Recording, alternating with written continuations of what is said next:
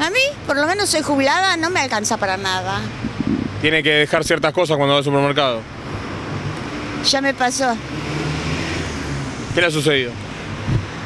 Que eh, compré, compré, compré. Cuando voy a pagar, se me fue por las nubes.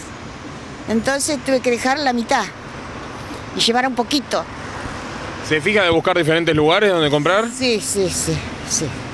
Yo sí, porque soy sola y a mí lo que yo gano no me alcanza. No, todo caro. Yo tengo almacén y las cosas son imposibles de reponer. O sea, es imposible de reponer ahora las cosas. No, el aumento ha llegado tanto al consumidor como al comerciante. Claro. Claro, lo que pasa es que llega, llega a aumentar tanto las cosas de que vos por ahí comprás un paquete de yerba pero, y la vendés. Cuando la querés volver a comprar ese paquete de yerba no podés.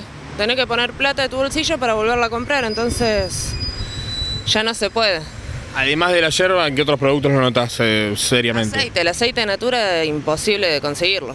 Aceite, azúcar, Estos productos básicos. todo lo básico, o sea, el pan. y tal medio caro. Las cosas suben.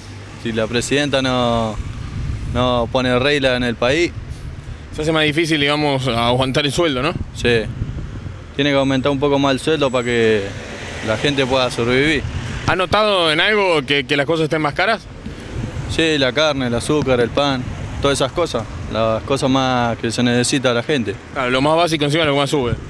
Sube todo. Y está complicada, pero bueno, este, suben todos los días, así que bueno, tan complicada. El tema del supermercado y la canasta básica está todo bastante complicado. El sueldo cada vez te desaparece más rápido, ¿no? Sí, sí, sí. ¿En qué notas que, que están más caras las cosas? Y las cosas diarias, en los comestibles, en ese tipo de cosas. En los comestibles se notan mucho. Sí, sí, sí. Eh, carísimo. Carísimo, carísimo. En realidad, comparado con el sueldo que ganamos. Esa es la comparación que, hace, que yo tengo que hacer para poder comprar.